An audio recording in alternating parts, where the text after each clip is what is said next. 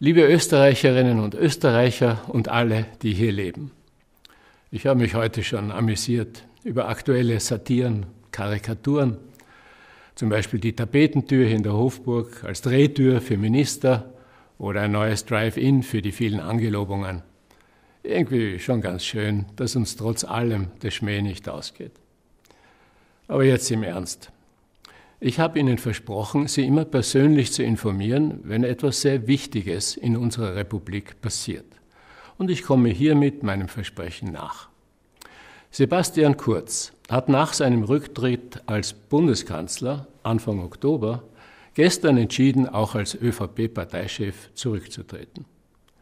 Daraufhin gab es ÖVP intern die Entscheidung, die Parteiführung und in weiterer Folge die Regierungsmannschaft umzubauen. Seit heute wissen wir, dass der aktuelle Innenminister Karl Nehammer ÖVP-Parteichef wird und als neuer Bundeskanzler dienen soll. Auch eine Reihe von Ministerien soll neu besetzt werden. Herr Nehammer hat mich vor der Pressekonferenz über den Wechsel an der Spitze der ÖVP und über die nominierten Regierungsmitglieder informiert und wir haben die nächsten Schritte besprochen. Zusammenfassend kann man also festhalten, Österreich steht erneut vor einer Regierungsumbildung.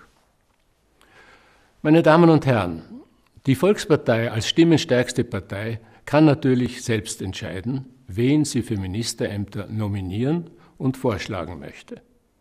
Sie muss sich aber auch bewusst sein, dass es um die Besetzung der höchsten Staatsämter geht und nicht um Parteilogiken.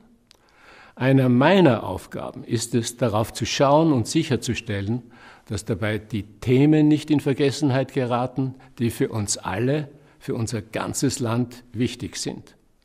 Dass nicht nur auf Macht- und Einflusssphären geschaut wird, sondern auf die Menschen in unserem Land und auf deren große und berechtigte Erwartungen.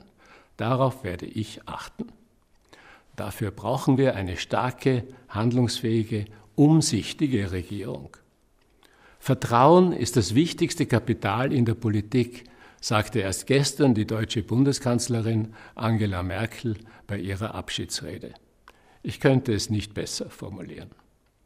Es geht jetzt darum, verloren gegangenes Vertrauen zurückzugewinnen.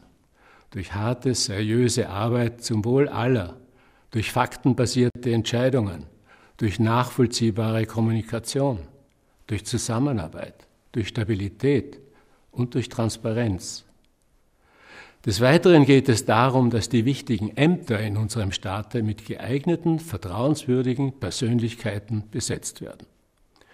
Die Grundvoraussetzung, so ein Amt zu führen, ist, glaube ich, der Respekt vor der Funktion, die Demut, unserem Land dienen zu dürfen und der Wille, das auch wirklich zu wollen. Die Person muss natürlich fachlich kompetent sein, und sie muss in höchstem Maße integer sein.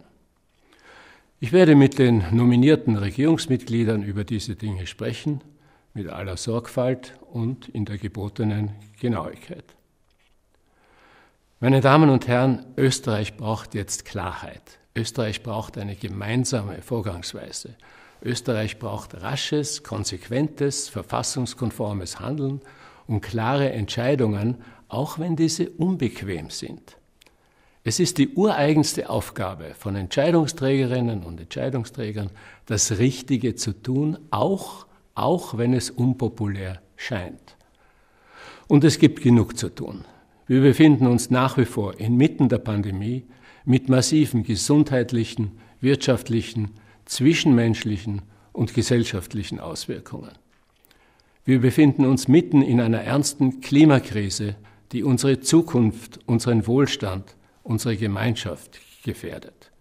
Das sind nur zwei. Das sind nur zwei der brennenden Themen, denen eine österreichische Bundesregierung ihre volle Aufmerksamkeit zu widmen hat. Sie dulden keinen Aufschub.